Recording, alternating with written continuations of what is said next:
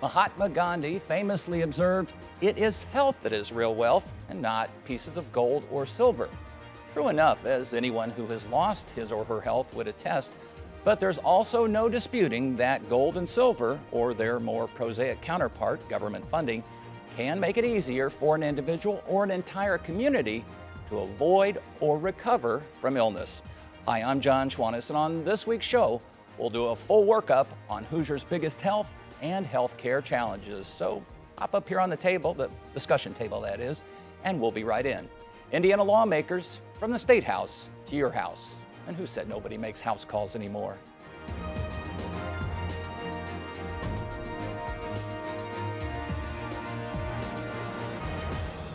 Dozens of studies have pointed to a link between health and wealth, often creating groups of haves and have nots, those who have access and those who don't.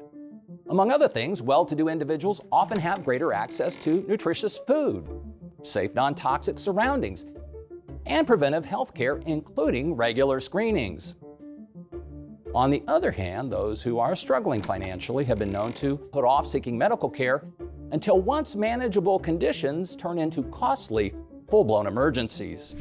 Now, economic factors can have an equally profound impact on the well being of entire populations, and that's where public health comes in. Simply put, public health is the science of protecting and improving the health of a community through the promotion of healthy lifestyles, the prevention of injuries and chronic disorders, and the detection and containment of infectious diseases. Unfortunately, Indiana is one of the unhealthiest states in the nation, as determined by metrics such as obesity, tobacco use, infant mortality, physical inactivity, and life expectancy probably no coincidence that, until recently, Indiana also ranked toward the bottom of all states in per capita spending for public health. For decades, annual state funding hovered around $7 million. Last year, in the wake of the COVID pandemic, Indiana lawmakers heeded Governor Eric Holcomb's call for a renewed commitment to Hoosiers' health, allocating $75 million for local health departments this year and $150 million next year. So far, all but six of Indiana's 92 counties have opted into the so called Health First Indiana initiative. The injection of new state funding promises to make Indiana something of a medical testing ground. The question at hand if money can't buy happiness, can it at least secure better health? With March Madness looming, a lot of Hoosiers are paying extra attention to rankings, but Here's one that should make us pretty darn mad and more than a little alarmed all year long. According to a study released last fall by Forbes Advisor, Indiana is number 10 from the bottom when it comes to accessibility, affordability, quality, and efficacy of health care. And that's bad news indeed for a state that already has, as we just noted, one of the unhealthiest populations in the country. How did we get here? And more important, what can we do to fix the problem?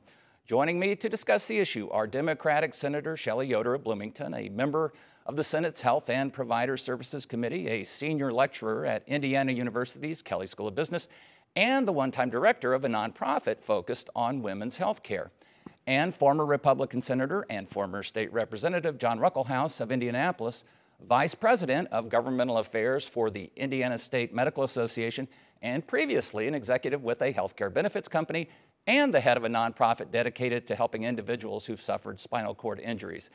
Thank you both. And I will stipulate uh, to regular viewers and listeners that's a much longer uh, introduction than typical, but I wanted on an issue like this to point out that you approach this not just as policymakers dealing with dollars and cents and statistics, but as healthcare consumers in a very real sense yourselves and who, people who've been touched dramatically by, by healthcare. So that's, that explains the introductions. All right, we're, we're, not very good in any of these rankings uh, right now. Cost or, or our own health attainment. I mean, I don't know who to blame though in, in this quest to keep uh, costs down and accessibility high. So I'm going to ask you both. Who should we blame here? Uh, Senator Yoder, we'll start with you. Well, I don't know how much we're going to get accomplished by blaming people, but I think it is oh, but important. It's, makes, it's fun though. but I think it's really important to show the impact that it's having on Hoosiers' lives uh, from the $1 billion real error in fiscal oversight, mismanagement, to how it's impacting Hoosiers. This is Medicaid This is the dollars that uh, just uh, popped up in December. Yes, the Medicaid. How did we miss a billion dollars? When I would say we didn't miss it, we just didn't uh, know about it. Uh, so there's that, and trying to find a way of really getting some solutions for Hoosiers working together to ease that burden of healthcare costs. But you're right, we're also lagging behind when it comes to health outcomes, and we have to get very serious about addressing those. So when we put up the villainous dartboard uh, and start, you know, pitching those darts, we don't. You're not going to tell us whether we should put hospitals up there or physicians up there or insurance companies up there or Hoosiers themselves. I think Hoosiers themselves want answers. They want relief in this area. And what, what we need to identify are good solutions. And I know the Democrat, uh, the Democratic Senate caucus, we have filed bills that would address this. We've been sort of sounding the alarms of specifically the $1 billion Medicaid oops, uh, mismanagement of funds, uh, lack of transparency. We've been sort of sounding that alarm and we have not gotten anywhere as, as, as early as this session. So I know that Hoosiers, they want to know, okay, what are we going to do about it? And how we go about doing, uh, addressing it is going to, again, impact Hoosiers directly. So I think it's really important. The how and the why, also important. John Ruckelshaus, you're not in office now. You don't have to be as diplomatic and as, and as politically astute as your, as your pan, fellow panelist here. Um, you represent 9,000 physicians, medical students. I'm guessing they're not the problem in your eyes. Well, I think Senator Schroeder, Senator Yoder, excuse me, did a very good job, and you did a very good job, John, of framing this. Because when you look at healthcare, eh, there's no greater issue in America than healthcare. It touches every Hoosier, it touches every American. It's 17, almost 18% of the gross domestic product, meaning 17 to 18 cents of every dollar is spent in healthcare. I always look at this that you can't point your finger at one particular individual. It's a circular firing squad, frankly. And everybody has skin in the game. Hoosiers have skin in the game by obesity, by smoking, by those issues that are lifestyle changes that we have to address. We've got to get healthier as Hoosiers. That helps drive this. Physicians are coming to the table. We're one of the lowest reimbursed in the, in the United States, and we're trying, obviously, we're trying to get more physicians into the marketplace and into the rural areas as well. So, all hands on deck have to be a part of this. And Senator Yoder is exactly right. This is more than a Republican or a Democrat issue. This is a Hoosier issue. Well, and you point out the economic realities of this too. When people say, oh, the problem is high pharmacy costs. Well, I'm mad at drug makers. I'm mad at the people who develop and, and distribute uh, medical implements. And, well, Indiana has more than a, than a passing uh, stake in, in those industries, certainly. I, if 15 or 17 percent is the national, we probably even have more of our, our uh, domestic product and output here tied up in that. So to your point, that circular firing squad probably is an apt metaphor. So if we were addressing some of the health, less than healthful habits of Hoosiers, and I, I include myself in, in, in that, I'm not pointing fingers. Uh, now, the Hospital Association did a study in the past year, said $3 billion we could save, and that's direct cost, but also employer health premiums. I mean, that, that throws a lot of things mm-hmm. in there. Is that, is that really, I mean, could Hoosiers really make that much of an impact just by curbing the smoking, eating better, trying to deal with their diabetes? We had a lot of discussions about this as we worked very hard on Senate Bill 3 last year in the uh, Public Health Commission that we wanted to engage uh, with the state health department and local health departments partnering together. And yes, it is expensive. Uh, the impact of heart disease, the impact of obesity, the impact of our high smoking rates, our high vaping rates in the state of Indiana, they do have significant healthcare cost impact, and we can address some of that there. We also have to address the fact that I'm, I'm just very concerned about the priorities here because we could address Medicaid, we could address the difficulty in access when we cannot attract healthcare providers and keep healthcare providers in this state by really having an, a serious conversation about passing a near ban uh, on abortion care in this state. It does nothing but hurt Hoosiers on a very unpopular policy and worsen each and every one of these areas that you've brought up. So you're saying that that alone is an issue that is driving up costs because physicians are fleeing the state, that the, the care is not as affordable? Absolutely. It certainly isn't helping. It certainly is not going to help. And I, I have been very vocal about this, that we could address each of these pockets by that one policy that is incredibly unpopular in Indiana and at least show Hoosiers that we are serious about uh, putting aside these um, culture wars and letting Hoosiers decide uh, the kind of care that they need with their physicians. You know, the Health Care Oversight Task Force addressed a lot of issues. That was not one of them, but uh, and uh, but you certainly uh, bring that to the table, and it's it's worth worthy of uh, discussion as well. You know, it's it, it's not for lack of legislation that these issues are, are out here. I, I, think about two years ago. I think about last year. There had been uh, a commission that had looked at this, worked quite hard, collected a lot of input. We had a, yet another task force that uh, met during the, uh, the interim prior to this session. But things just sort of, uh, you know, there were caps proposed. There were stringent uh, bans on no compete provisions for physicians so they could maybe leave their current employers if they, if they so chose and without having to move out of the state. All kinds of, but everything sort of at the end got watered down. Why, does, why did we have so much trouble as a state, do you think, John Ruckelshaus, getting these bills across the line? Well, you're talking about a lot of stakeholders that are at the table, and you have some big entities. And I think we have to pull back and look again where we are at healthcare in America and in, in Indiana. It's consolidating. So you have fewer hospitals providing more services, fewer amount of physicians, nurses, et cetera. There's a nursing shortage. We have a shortage of everything in the worker capacity. The only thing we don't have a shortage is people running for office. So the point is, is that there is a severe shortage around. So what happens is when you have these big players to try to come to the table, nobody wants to give. So that's what we've been trying to work on. I think the governor did a really good job last year. Former Senator Luke Kenley uh, spearheaded that in Senate Bill 4 and came through the Senate, as a matter of fact. And that is a good first step uh, because that brings the health care down to the granular level. It brings it down to the county level where it needs to be, a one-on-one. If we're going to change Hoosiers, one of the things we didn't talk about, and Senator Yoder, I think you were kind of alluding to this or trying to get there, is we need to take a look at the cigarette tax increase. Mm -hmm. uh, this is an initiative that is bipartisan. It passed the House multiple times. It stalled in the Senate. When I was there, we actually raised the tobacco age. But if you want to move the needle, that's the one quick policy piece that you could do. Let me give you a real world Some of the example. most zealous supporters actually have been Republican stalwarts like the chamber and, and uh, other entities that normally don't align with, uh, uh, with they don't, they don't depart from the, the party lines. So That's exactly right. So I think probably not this session, but I think next session that clearly is going to be on the table. Because what we could do with this $1 billion surprise mistake uh, that points to so many things. You know, $1 billion Medicaid error.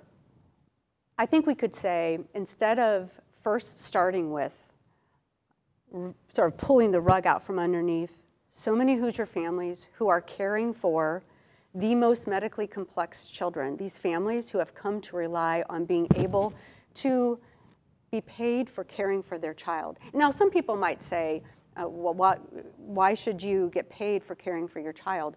I would push back and say, if it was your child and you want the best quality care, Indiana should be able to pay parents to be able to not live in poverty, to be able to stay home and care for their medically complex child, and be reimbursed for that, considering all of the short uh, shortcomings that we have, the lack of health care and a lack of health providers that we have in the state of Indiana uh, in order to address some of these issues of outcomes and this $1 billion Medicaid shortfall, I think it's a real mistake to start that uh, fiscal fine tuning or, or fixing the mistake on the backs of some of our Hoosiers most medically complex. Well, you know, it, let's dive into a few of these issues because you both have now brought several up. And, and let me go back, uh, if I may, just briefly to the notion of unhealthy Hoosiers because both of you talked talked about Luke Kenley, the, the group, and there were others, Susan Brooks and others. I don't want to leave anybody off that deserves credit for that. But suggested, you know, half a billion dollars should be thrown at, not thrown, invested in uh, public health. Uh, it's been uh, lagging for years. I think we'd averaged as a state about $7 million a year. We ended up about uh, 75 million first year, of the biennium 150 second year, so about half of the, the request. And I think uh, most of the Indiana counties have signed up. There's a local match required, which is why I presume it's not 92, all 92. But can we hope that that is going to have an impact, or is that uh, I mean, will that move the needle in any significant way? I think it was a huge wake-up call when you say no, no, no, no to public health investment for almost two decades, and then realize the mistake that that was because of how far behind Indiana has fallen, and that we've lost a life expectancy for your male working age individual in the state of Indiana, the first time ever. We've started to not track with the life expectancy of the United States, but are starting to go down. Yes, it is a wake-up call and an, an irresponsible approach to public health. So my hope is every county will invest uh, in partnering. And the great thing that local communities can do, local health departments and uh, county commissioner, the executors of the, of the counties, they can decide what are the biggest outcomes that we need to see improvements and partner and really fine tune how, that, how those dollars are going to be spent. That was the best thing I think that we did last year is to really enable a partnership and a communication uh, bridge from at the local level to getting those dollars from the state to address unique needs in and, every county. And it may mean that the six counties that didn't sign up at this to this point have the I mean they do have the opportunity. Always. Whether they take the opportunity is another question. John Ruckelshaus, let's let's say everything this plan, the investment uh, in public health pays huge dividends. Everybody starts training for marathons. Everybody quits cold turkey. We're going to get healthy.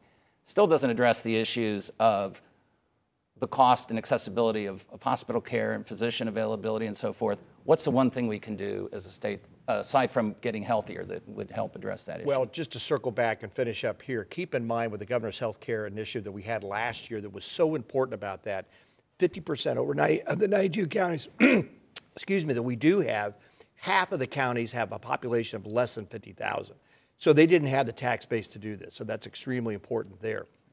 So yes, rural hospitals have closed at an alarming rate. Uh, count, lots of counties, I don't know what the number is now, that don't have any count, uh, hospitals Correct. all. So one of the things that we've been advocating for is graduate medical education. So Indiana has, Indiana University has the largest medical school in the country. So one of the things that we know, if graduates of Indiana University, they do their fellowship and they do their residency trainings, 70% of them stay in the area that they do it. The state could clearly look at subsidization and debt, student debt. Uh, medical students graduate with over $250,000 on average debt. The state could help subsidize if the commitment is to stay in the rural areas and participate and take care of Hoosiers. And with IU being the largest medical school now Yeah. by enrollment in the country, right, if not the world, I guess that could have an impact. And that's Senator. true. I, I would agree with uh, John on that point. However, those numbers and that percentage was pre the abortion ban in the state of Indiana. And we know that medical students who are graduating are looking closely at where their own licensing and profession is going to be at risk. And those states that have put politicians inside of the examination room, those are the states that they are saying, I don't want to practice there. I'm going to invest in my professional career and in my calling and my vocation in a state that doesn't put myself and my family at risk. So I, I go back to we could address this by repealing the abortion ban that we put in place in the state of Indiana. Again, uh, an important issue. I'm guessing uh, not one that typically shows up in discussions about healthcare cost containment, but, but again, a very good legitimate point you bring up. Um, It, it does show up. It is showing up. And there is a reason why this topic gets excluded. It's because we don't want to talk about it. You know, we had a, a bill that was a good bill. It was addressing prior authorization, and it was a priority of, of the you read my Republican mind. I was going to ask you, since that's one bill Yes. that's, that was a, a, a Republican priority in the it Senate was a until it wasn't. a- a- and then it disappeared. And in the committee hearing that we had on this bill, I asked uh, the, the author of the bill, who does get to be in that room deciding the care that you get? And the author of the bill said, no one, not insurance. They don't get to dictate the care that's needed for a physician to address the needs of a, of a patient. And I said, then why put politicians there, which is what we did with passing that abortion care. And then Senate Bill 3, which was what the prior authorization bill was, disappeared. Authored by a physician, I believe. Correct, uh, Senator Tyler Johnson. Right. So now, uh, again, we can debate why it disappeared, as you put it, and I think clearly we, the fiscal impact uh, was uh, lurking, uh, looming large here. Right. How much of a significant impact do you think that could have? Uh, I mean, pre-authorization is a way of life uh, for the insurance industry, certainly for our state. Is that is that the silver? Oh, this is a major, major issue, and it's all about patient safety and livelihood because what we found out is that this is a notion and this has been a tool that's been used by insurance companies probably 40, 50 years to quote unquote contain healthcare costs. And as a former employer, I understand that, paying the premiums for employees. As a former, as an employee, I understand that too because we want to keep healthcare costs down. But it's run amok.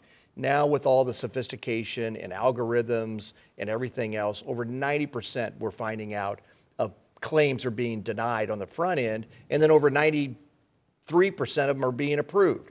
So there's a lot of shell game, patient delays, and people are up in arms. And this is what our physicians are telling us. This is what Hoosiers are telling senators and representatives. There were three bills that were introduced in the House this year on this issue, about two bills in the Senate that were introduced it will be back in some form. Oh, I think that's prior a, authorization that's a, before the session's over. Because it was uh, it was offered last year, didn't right. prevail, and, well, let me and again say this. this year. I'm going to actually push back a little bit, John, on the the notion that Senate bill, this prior authorization bill, disappeared because of the fiscal. We already knew the supermajority knew that they were not opening this budget. This was the the last day that we could hear from Republicans on what their priorities are going to be. Session had already started. They absolutely knew about their priorities. You cannot tell me that the fiscal note on this, which came back, it didn't show a price tag, that all of a sudden it was another surprise. We get a billion dollar mistake that is costing, that's going to cost Hoosiers significantly uh, in December and then we're going to have another surprise fiscally. So I just want to push back a little bit and say that this was a, it was a, it, that bill disappeared because of the fiscal impact because they absolutely knew. I think it's because they realized that they had stepped in it. And if you want to talk about trying to control, no doubt and, it's a controversial bill, I mean, but, I think, but I mean there I is a huge impact year, even from the Medicaid standpoint, which is a, also deals with pre-authorization. For, before we run out of time, yeah.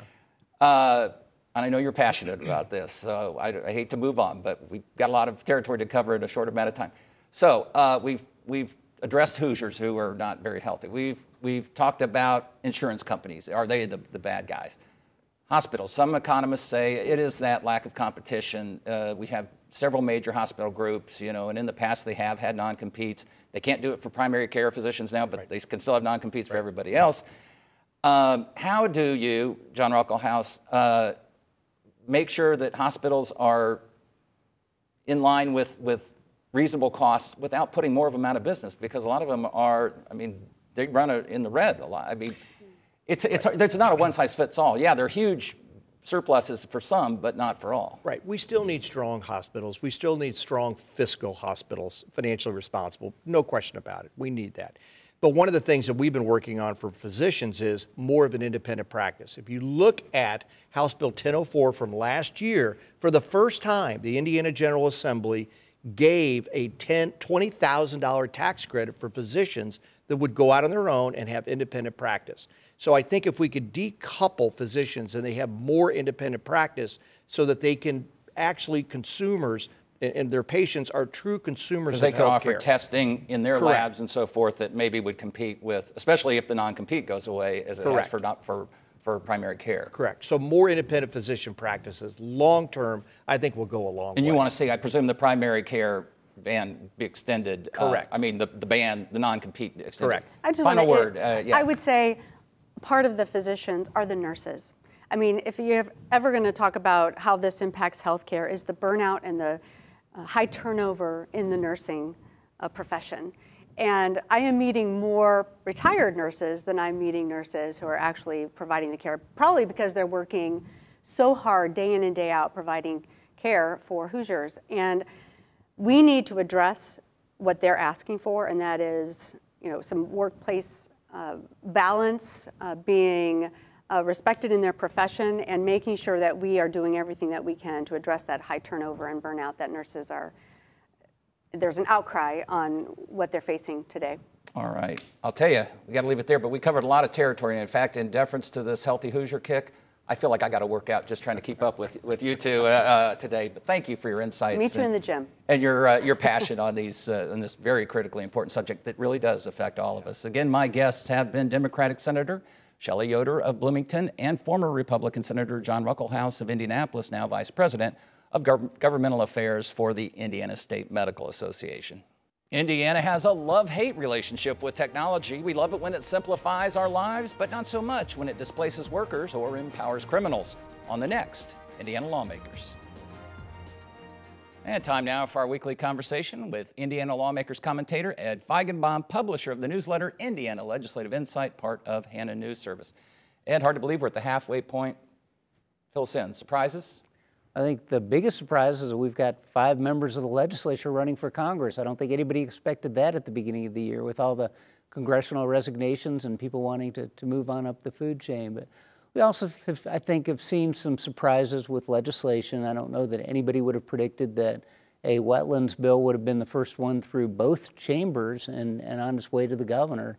But when you look at, at the healthcare things that we were talking about earlier in, in the, the roundtable, that prior authorization bill in particular, I think that was the one big surprise this year that that hasn't gone further, that, that didn't go through the Senate in the first half of the session. Um, usually, when a bill has a single digit attached to it, it is a leadership bill, and, and, and was, that's going to be on rails. Certainly, and it was a Senate Majority Caucus uh, agenda item as a priority.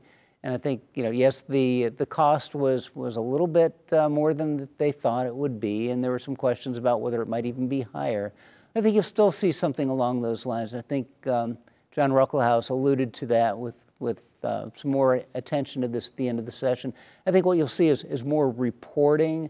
Uh, insurance companies required to report when and why they turn things down. That may lead to something next session like you've got in, in Texas with that gold card where good providers, providers who have shown a, a record of, of doing things well, will be able to do things without prior authorization going forward. But that's still you know, another session away, and then it would take a long time to, to implement a program like that administratively. So essentially, everything that cost containment measure we've seen this year and last year will be back in some way, shape, or form. Oh, no doubt, and it'll be a budget session, so they won't have an excuse not to do it. All right. Very good, Ed. As always, appreciate your insight. Thank you, John. Well, that concludes another edition of Indiana Lawmakers. I'm John Schwantes, and on behalf of commentator Ed Feigenbaum, WFYI Public Media, and Indiana's other public broadcasting stations, I thank you for joining us, and I invite you to visit WFYI.org for more State House news. Until next week, take care.